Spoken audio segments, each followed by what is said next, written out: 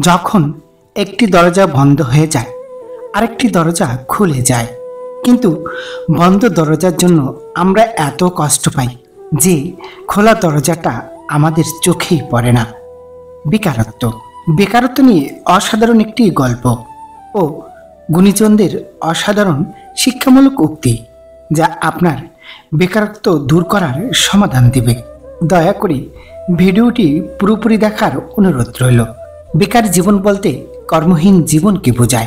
বেকারত্ব এমন একটি শব্দ যা মানুষের জীবনকে তিলে তিলে শেষ করে দেয়। আবার এই বেকারত্বই মানুষ চিনতে শেখায়। যেদিন তোমার পকেট খালি, সেদিন আপনজনদের আসল পরিচয় পাবে। এর জ্বালা একমাত্র তারাই বুঝে, যারা এ যুগে বেকার। এমনকি সমাজের কেউই বেকারত্ব মানুষকে কোনোভাবেই সম্মান দেয় না।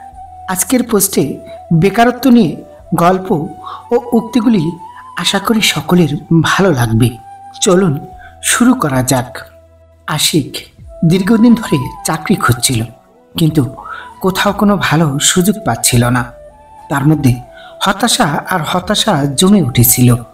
একদিন সে তার গ্রাম্য মেলার মধ্যে একটা ছোট দোকান দেখে ভীষণ মুগ্ধ হলো। দোকানদার শিবলু কাকা তার জীবনের সব কিছু দিয়ে সেই দোকানটি গড়ে তুলেছে। আশিক, শিবলু কাকার কাছে গিয়ে বলল, কাকা, আপনি কীভাবে এত সফল হলেন? আমার তো কোনো কাজ জুটে না।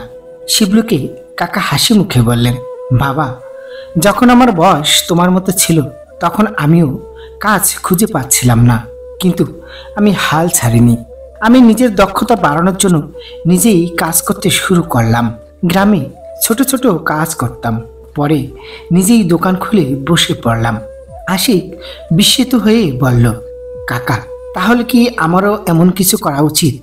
শিবলু কাকা উত্তর দিলেন হ্যাঁ অবশ্যই।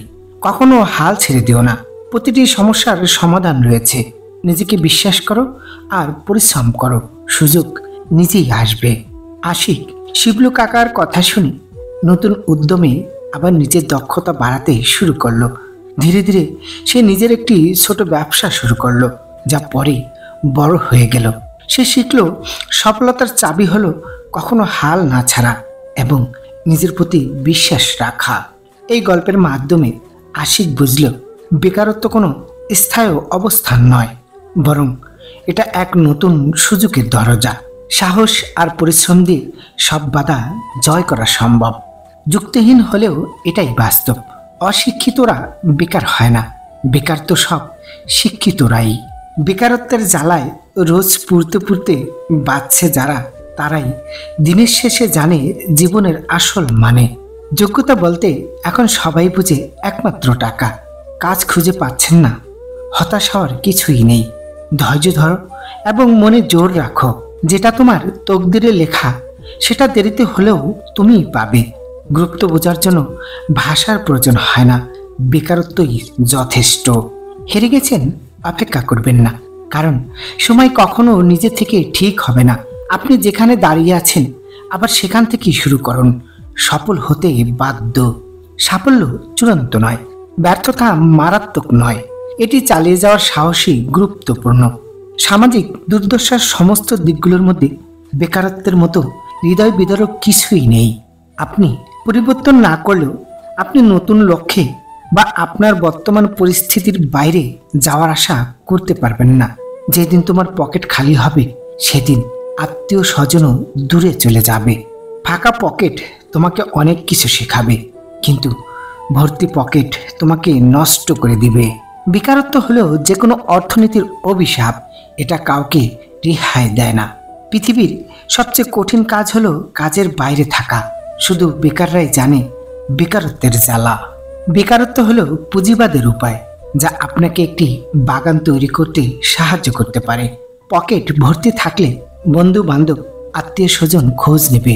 পকেট খালি থাকলে খোঁজ তো দূরের কথা, চিনবেও না তুমি কে। একজন মানুষ কাজ করতে ইচ্ছুক, কিন্তু কাজ খুঁজে পেতে অক্ষম। সম্ভবত এটি সমাজের সবচেয়ে দুঃখজনক দৃশ্য। পরিশ্রম চেহারা খারাপ করে দেয়, কিন্তু জীবন সুন্দর করে দেয়।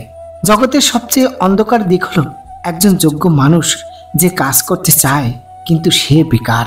তুমি বেকার হলে হাল ছেড়ে দিও না, নিজের উপর বিশ্বাস রাখো। সময় একদিন তোমারও ফিরতে বাধ্য। আপনি জীবনে অনেক পরাজয়ের মুখোমুখি হবেন, কিন্তু নিজেকে কখনোই পরাজিত হতে দিবেন না। এই সমাজে বেকারত্ব আপনাকে আপনার যোগ্যতা নিয়ে প্রশ্ন তোলে। বেকারত্ব জীবনে আপনাকে আপনার চারপাশের লোকদের কাছে বোঝা মনে করা হয়। বেকারত্ব সাফল্যের পথে একটি বাধা। প্রিয় বন্ধু সকল, ভিডিওটির একটি উক্তিও যদি আপনাদের ভালো লেগে থাকে, অবশ্যই ভিডিওটি একটি লাইক করুন, শেয়ার করে অন্যদের বোঝার সুযোগ করে দিন এবং চ্যানেলে নতুন হয়ে থাকলে চ্যানেলটি অবশ্যই সাবস্ক্রাইব করবেন। আপনাদের মূল্যবান একটি লাইক আমাদের ভিডিও বানানোর মূল উৎস। ধন্যবাদ।